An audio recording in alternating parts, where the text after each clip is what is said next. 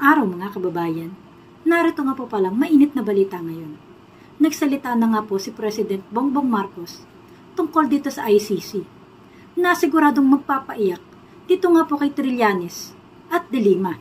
At bago nga po natin simulan ng video na to, kung interesado ka sa mga videong tulad nito, ay huwag kalimutan na mag-subscribe at i-like and share na rin po ang ating video. At heto na nga po ng mga kababayan, uh, nagsalita na nga po itong si President Bongbong Marcos na hindi nga po siya makikipag-cooperate dito nga po sa ICC. At narito nga po mga kababayan ng pahayag ni Vice President Sara Duterte tungkol dito.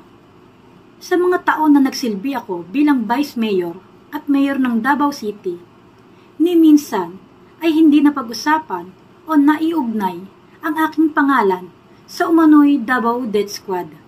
Subalit, matapos akong manalo bilang Vice President, bigla na lang nagkaroon ng testigo laban sa akin at ngayon ay kasama na ako sa mga akusado sa International Criminal Court. Hindi ko kailangan ng death squad para sa mga bagay na kaya kong gawin. Gayunpaman, haharapin ko ang anumang akusasyon laban sa akin.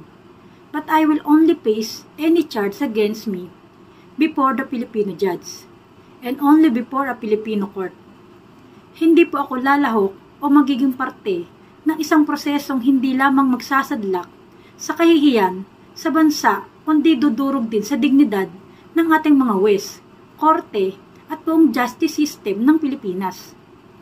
Huwag nating ipahiya ang bansa sa buong mundo sa pamamagitan ng pagpapahintulot sa mga dayuhan na manghimasok at nakialam sa Pilipinas. Ang kahiligan na magpailalim sa mga dayuhan ay sampal sa mga bayaning Pilipino na nagbuwis ng kanilang buhay at lumaban para lang sa ating kalayaan unahin muna natin ang Pilipinas. Shukran. At yan nga po ang mga na naging pahayag ni Vice President Sara Duterte.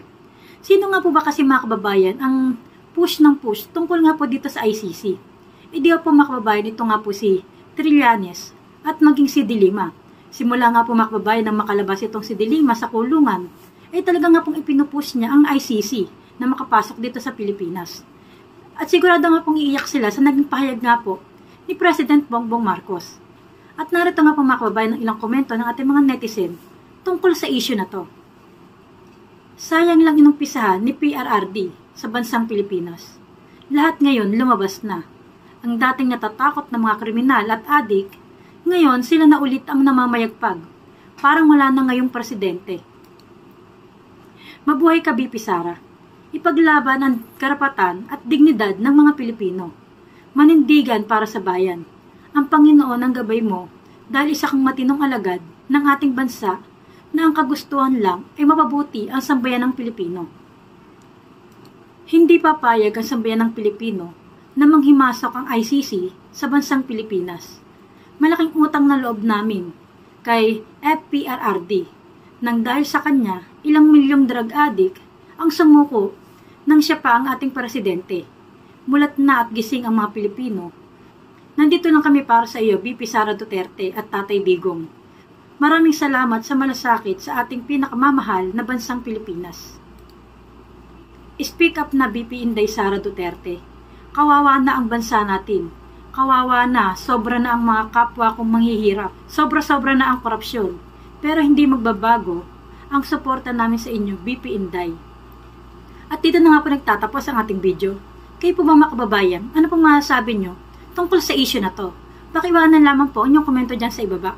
At muli kung di ka pa nakasubscribe sa aking YouTube channel, ay huwag kalimutan na mag-subscribe at i-like and share na rin po ang aking video. Thank you!